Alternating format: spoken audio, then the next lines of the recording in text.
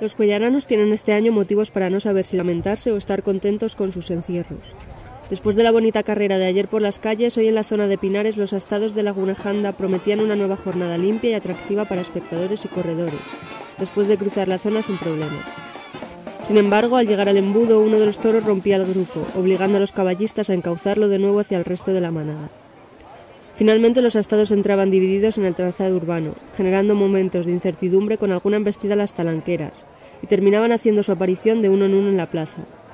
De cualquier modo, no ha habido que lamentar heridos graves y se espera ya que el encierro de mañana, con toros de hierba buena, permita la frescura que su propio nombre indica.